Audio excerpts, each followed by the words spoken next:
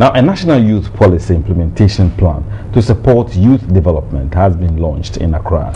The implementation, expected to take three years, is estimated at $200 million.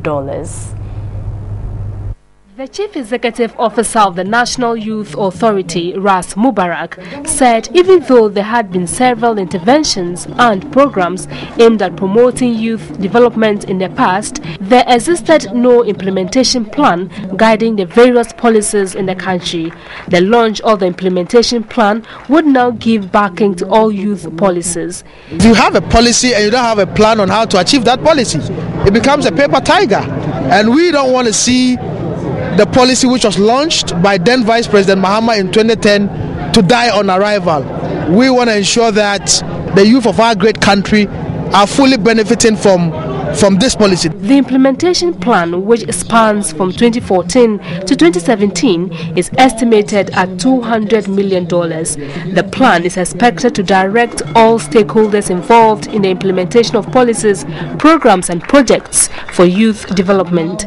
The implementation plan had been classified under four main areas, which included human development and technology, economic empowerment, youth participation, governance, and leadership, and culture, sports and national orientation.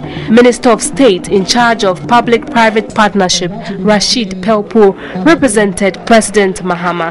I charge the National Youth Authority to liaise with all 10 regional coordinating councils to launch the implementation plan in the respective regions in anticipation that all MMDAs and members of parliament might adopt some aspects of the interventions to enhance youth development in their jurisdictions.